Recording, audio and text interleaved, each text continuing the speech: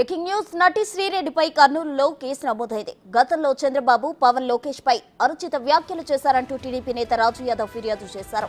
ఈ క్రమంలో శ్రీరెడ్డిపై పలు సెక్షన్ల కింద కేసు నమోదు చేశారు పోలీసులు.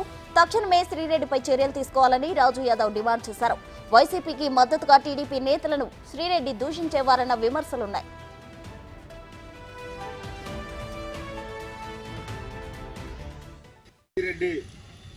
గత ఎలక్షన్ల ముందు కానీ ఎలక్షన్ల తర్వాత కానీ నారా చంద్రబాబు నాయుడు గారి పైన వారి కుటుంబం పైన అలాగే డిప్యూటీ సీఎం అయిన పవన్ కళ్యాణ్ గారి పైన హోం హోంశాఖ మంత్రి అయిన పొంగలపూడి అనిత గారి పైన విపరీతమైన దిగజారిన మాటలు మాట్లాడి మహిళలు కూడా ఆ మాటలు వినలేని విధంగా పదదూషాలతో మాట్లాడుతూ వీడియోలు చేసి పోస్ట్ చేసి సోషల్ మీడియా ద్వారా వాళ్ళ కుటుంబాలకు కూడా బాధ పెట్టే విధంగా ముందుకెళ్ళింది కాబట్టి కావున ఈరోజు అలాంటి చీడు పురుగులని ముక్కతోటే తుంచాలనే ఉద్దేశంతో ఈరోజు త్రీటన్ పోలీస్ స్టేషన్లో శ్రీరెడ్డి గారి పైన కంప్లైంట్ ఇవ్వడం జరిగింది.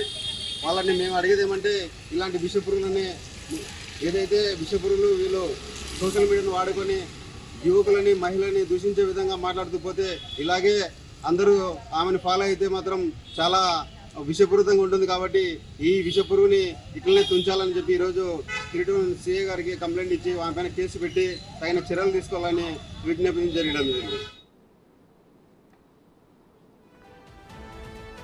నటి శ్రీరెడ్డిపై కర్నూలులో కేసు నమోదైంది. దీనికి సంబంధించి మరిన్ని వివరాలు మా ప్రతినిధి శ్రీరామ్ అందిస్తారు. శ్రీరామ్ చెప్పండి. అయితే గతంలో చంద్రబాబు పవన్ లోకేష్ పై అనుచిత వ్యాఖ్యలు చేశారంటూ ప్రజెంట్ రాజు యాదవ్ టీడీపీ నేత ఫిర్యాదు చేయడం జరిగింది. దీనికి సంబంధించిన ఓవరాల్ డీటెయిల్స్ ఏంటి?